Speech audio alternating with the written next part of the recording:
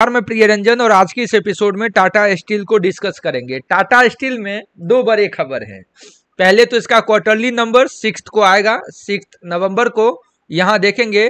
और दूसरी एक बड़ी खबर यह है कि इस समय चाइना के अंदर, चूँकि चाइना मेटल का सबसे बड़ा कंज्यूमर है, और यहाँ देखेंगे चाइना के अंदर जो है फोर्थ से एट नवंबर के बीच स्टूमुलेशन पैकेज को लेकर के एक मीटिंग होनी है। The stake has grown. यहाँ देखेंगे, the stake has grown for this week conclave of the standing committee of the national people. यहाँ फाइनेंशियल टाइम्स में ही दिखा दूँ, यहाँ बार बार ऐड आ जा रहा है कि China law maker gathers to approve long term physical physical stimulation.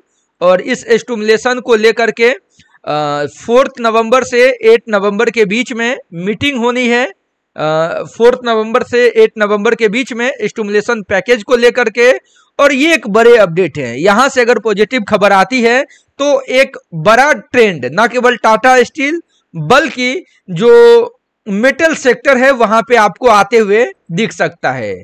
और इस समय जो टाटा स्टील है, इसके वॉल्यूम कंसोली डिलीवरी ठीक ठाक दिख रही है, लेकिन टेक्निकल ट्रेंड थोड़ा मिसिंग है वॉल्यूम भी देखेंगे ठीक ठाक ही है। और अगर ये स्टॉक 146 को ब्रेक डाउन करे तो 132 जैसे लेवल्स दिखेंगे। और वेट करें सिक्स के क्वार्टरली नंबर्स का वेट करें, जब तक सिक्स के क्वार्टरली नंबर्स नहीं आते हैं तब तक के लिए थोड़ा सावधानी बरतेंगे।